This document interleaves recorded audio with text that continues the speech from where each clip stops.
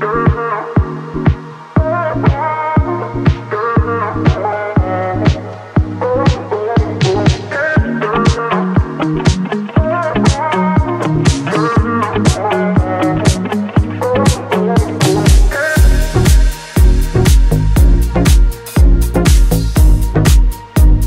catch on.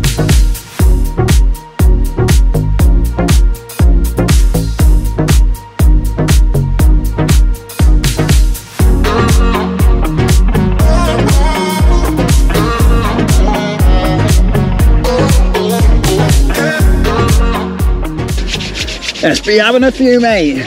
Woohoo! Let's get on them. Get on them. You having that side? Uh, can do. Right then, mate, I've got you a little treat. Oh, mate. I know. Happy days. What a guy I am. That's how you start a session. Um, I got you one. No. How about that? Oh, mate. Well, Did you shake this one up? yeah. Oh. Cheers. Cheers, buddy.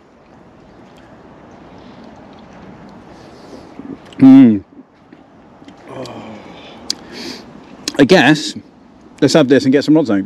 Yeah. Or we could just have a few more. So we have a few of these. Yeah. yeah. Works for the bloke in the car park. Yeah. Mm. Cheers. Magic. Here's to a fish. Or a good session.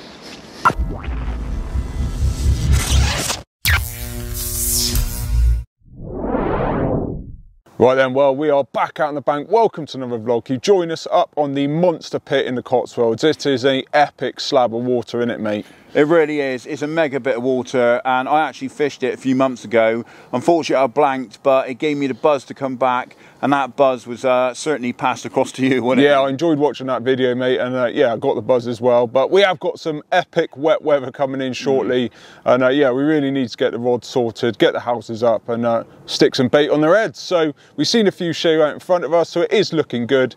Uh, but yeah, we need to get the rod sorted, mate. So let's get on with it. Let's get on with it.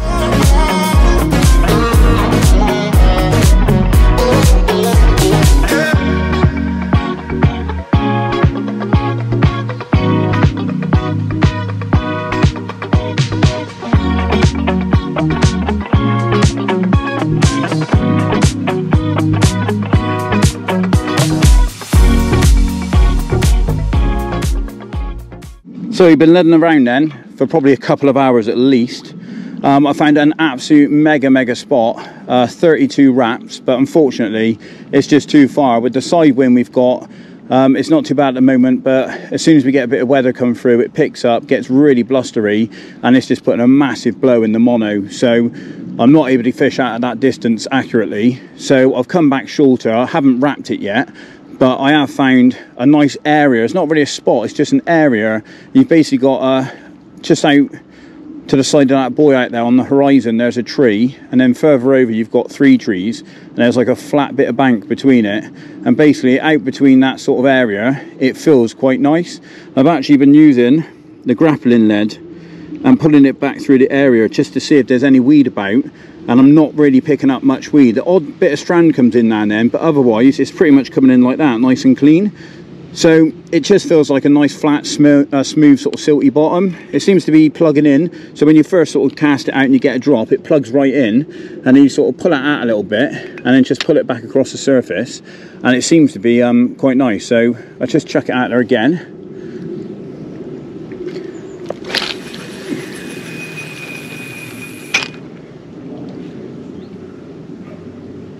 bang so get quite a nice drop on it and it basically sort of go to the side give myself some room and just pull it back a bit and it sort of locks up slightly and then it pulls back lovely and smooth. So it's definitely a nice sort of area to be able to present on. It's not as far out as I'd like to go because the fish have been showing out long long range.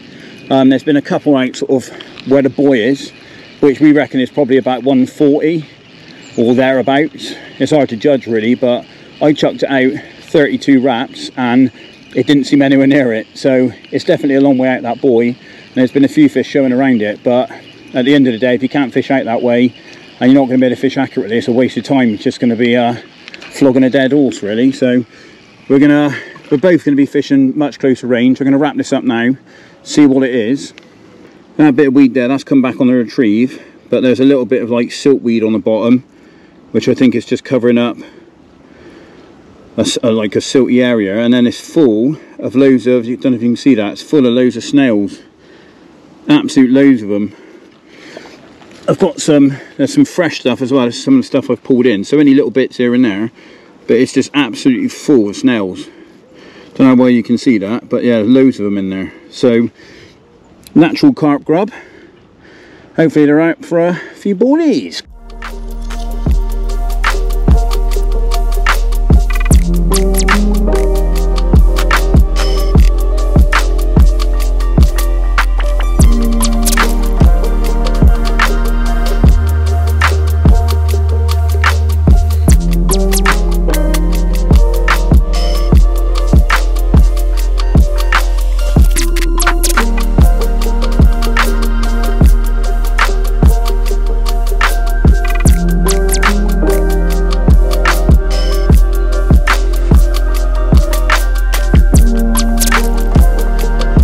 Right then, I'm just going to get the rods out finally. Um, it's taken a bit of graft, but they are going out. So I'm using the standard sort of leg clip setup, hybrid leg clip, 4 ounce lead, my tungsten loaded with the Ronnie. Um, I'm actually using plastic baits. I've got one on the yellow, one on the orange, and then one on a food bait. These are all soaked in some bug liquid attractors basically. So they smell like the bug bait that I'm going to be spotting out. Going to send that out there. Hopefully that will deter the crayfish and um, we'll get a bite. So let's send them out.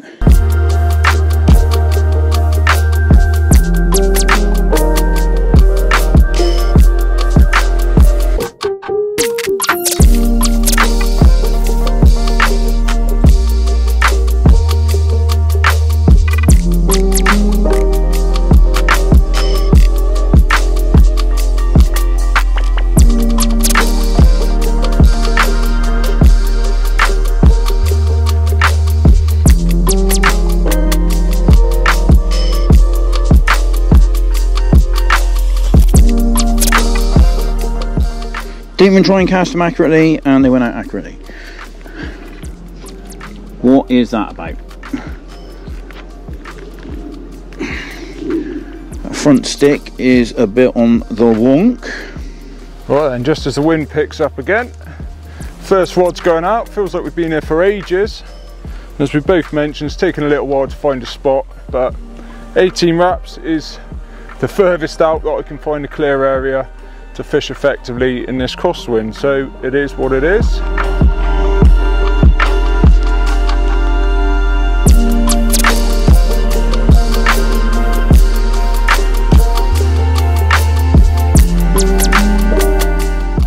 Right, then time to get a bit of grub out then. So in here we've got some 12 mil bug, some uh, S7 dumbbells and some 50 mil bug. That's all been soaking in some of the uh, matching bug liquid food and also the spod hydro syrup. So two different types of liquid. Let's get a few spods out there. Give them some grub.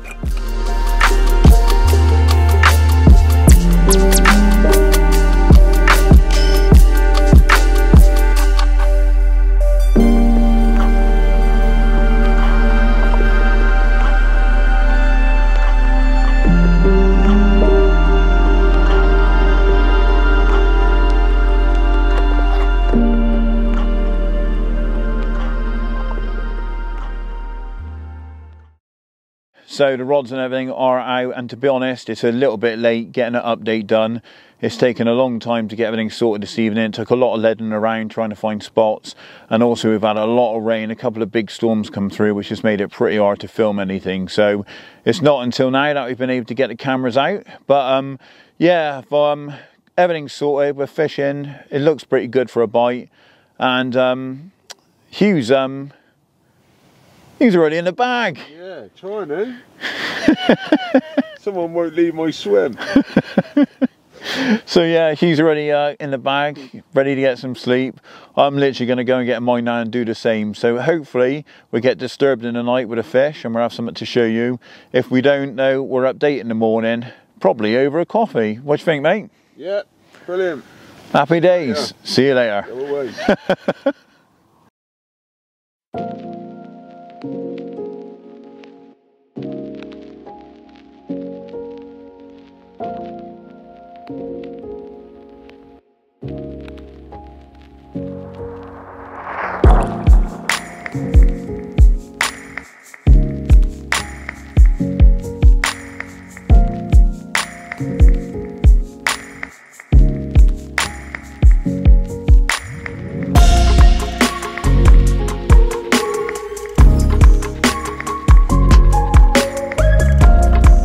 good morning. Unfortunately, nothing but a wet, soggy night for me and Shaun. Yes, very quiet indeed. But the good news is the bloke down to my left appears to have had a couple this morning, or that's what it sounds like at least. So, um, yeah, that's really positive. The fish are still in the area. Fingers crossed they can sort of just come in front of me and Shaun, trickling down on that wind. And uh, yeah, we might be in chance for a bite this morning. So it is looking good out there. But it's definitely time to uh, get the kettle on. So let's have a brew.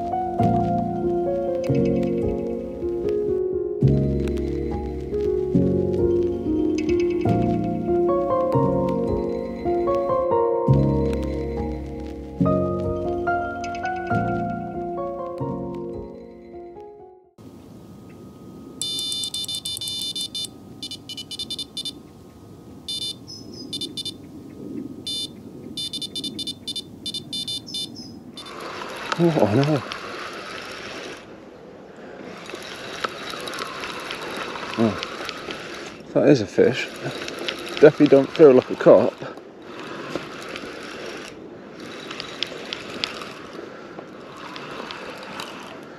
Oh, I don't know actually. Oh, no, definitely not.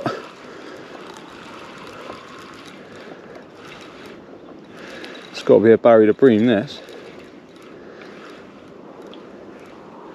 The tench. Right then, so I think the GoPro cut out just before I managed to net the fish. What I thought was Barry the Bream is actually Toad Lively Tench. But yeah, he's only little. There you go, very lively. They're slipping back.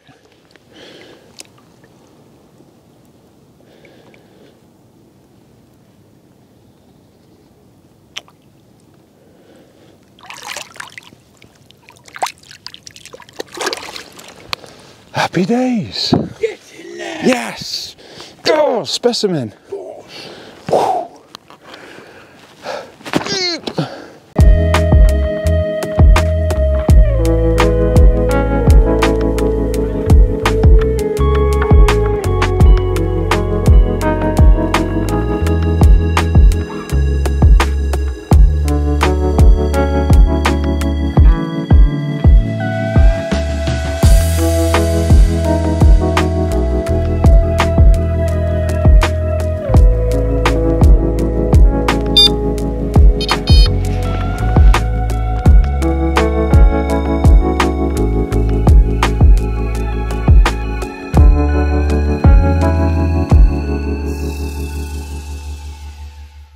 Then, so coffee's in hand, mate. Nice to see you got up finally. Yeah, managed to drag myself out of the sleeping bag. Yeah, it's amazing what uh, the smell of coffee would do to you, isn't it? Yeah, well, and that, and uh, someone asked me to come and film a tent. Yeah, yeah, it wasn't a monster, but the good news is, mate, I managed to get the bite on camera because after really? the bloke, well, after the bloke next door had had a couple, I thought, oh, I'll set one up just, uh, just in case, and uh, yeah, definitely got the heart racing a little bit, but yeah, well, nice to see a rod rattle, isn't it? yeah, that's it. Well, rattle, a couple of leaks, Well. but yeah, Well, you know, it's a fish. absolutely, it's a fish. But um, anyway, we've had a coffee, or we're having a coffee, and um, we need to get some food now. So I'm probably going to have to make breakfast, I imagine, because uh, I was up late. So let's crack on, do that, and hopefully we'll have another fish. Absolutely. Let's make it a carp this time. Yeah, go on then. All right, Come on then, let's go. come on. Oh, you're making it, aren't you?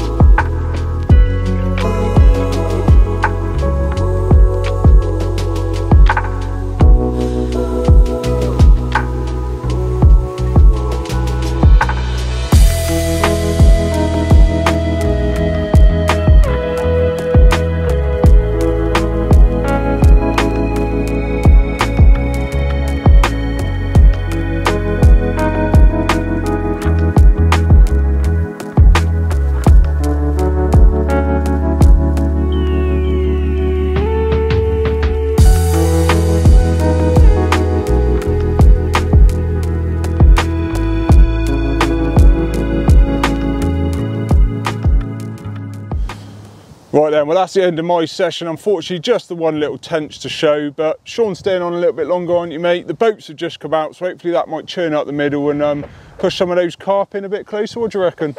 Let's hope so. Yeah, the fish have been out mega, mega range, way beyond our casting distance. Um, I, to be fair, you'd have to be a pretty good caster to be able to get out to where they are. A lot of them have been almost in the middle, I think. So yeah, way way beyond our capabilities. But hopefully a few drift in. Um, I've got sort of a few hours this afternoon to uh, try and make some happen. So yeah, hopefully I can actually have one. Absolutely, mate. Who knows? Uh, we don't really know the lake that well, so all these little things just add to the puzzle. And uh, yeah, I've definitely got the buzz to come back and try and put one of these carp on the map for you. Definitely, so yeah. I guess I better get off, mate. You better, mate. Yeah. But best of luck. Bye. Bye bye. Miss you.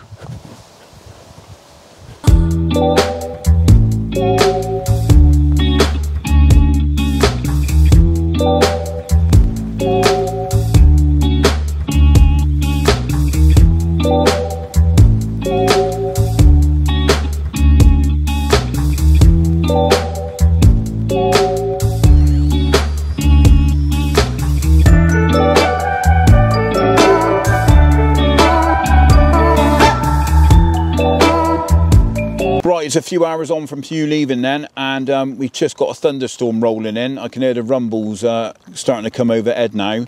Um, we've actually had a lot of rain, uh, very, very torrent- torrential downpours, really, really miserable to be fair. Kind of carpy weather, but yeah, not ideal for uh, for fishing and filming. But um, I've seen a few fish still showing, but they are showing mega, mega long, way out of my capability. Um, especially with the kit I've got today. Um, I've only got 12 foot three and a quarters, and they're all round rods, so they're not designed for fishing at long range. They are designed for a sort of play in action. Um, so they're lovely rods for playing fish on, but they just haven't got the backbone in them to send a lot of rod a long way, which is exactly what I need today. Um, the guy next to me, actually, I've had a little chat to him, and he had a couple of bites in the early hours, and he's fishing at 33 wraps, and it just shows the fish are that further out that you're kind of just trying to get to the edge of where they are, even at that range. And I'm fishing at 26 at the moment. I'm just not getting far enough out to them. So um, it's a bit of a shame, to be honest. But I did find a lovely spot with a marker lead, uh, 32 wraps, felt a bit shallower, felt lovely and clean.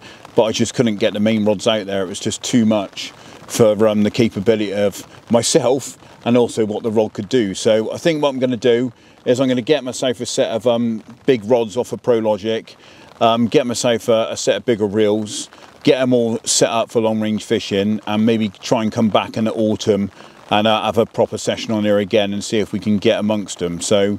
Yeah, we've still got a few hours to go though, um, so we're not we're not sort of blanking. It's not a blank yet. Um, we've still got plenty of time really, so hopefully some fish move in, and uh, we'll have us fish to show you.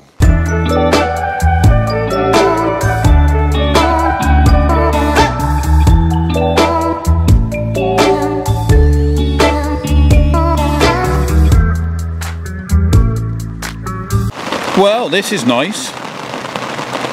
There's a bit of a water line there where the brolly's just cutting off the rain. It's coming in on a bit of an angle, so it is cutting up underneath a little bit. But I'm staying dry. Certainly a problem with this bigger bed, it takes up a little bit more room under this brolly. So you don't get quite as much space underneath it. But uh, yeah, it's a bit wet.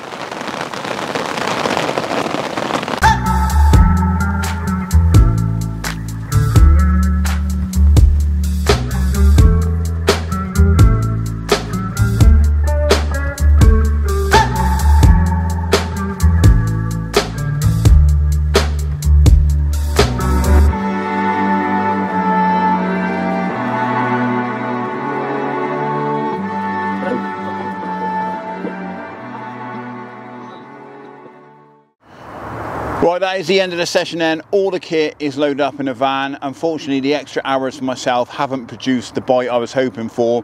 If I'm honest, the fish have just been way, way beyond our capabilities the whole time we've been here. We've been seeing them showing, and to be fair, they've been showing an absolute jolly out in the middle.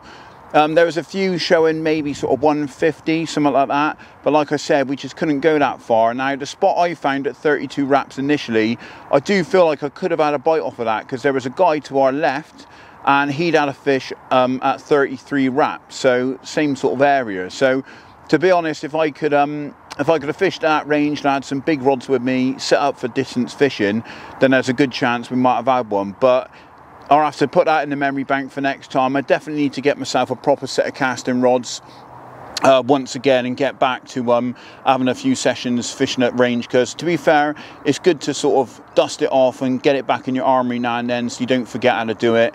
And it is a challenge so it's something else to sort of learn and get better at which is what I want to do. So anyway it is a blank unfortunately but it was nice getting out of the bank and this monster pit is such a banging place I really want to come back and catch one at some point so I think what we're going to do is we're going to get ourselves some long range gear sorted maybe come back in the autumn before it starts getting cold and see if we can maybe get on the end of a big old southwesterly with the fish absolutely jumping like dolphins on it and see if we can get a few on there but anyway Hopefully you liked the video. Now, if you did and you are new to the channel, smash that subscribe button. Also, give it a like because that way we know you're liking our content.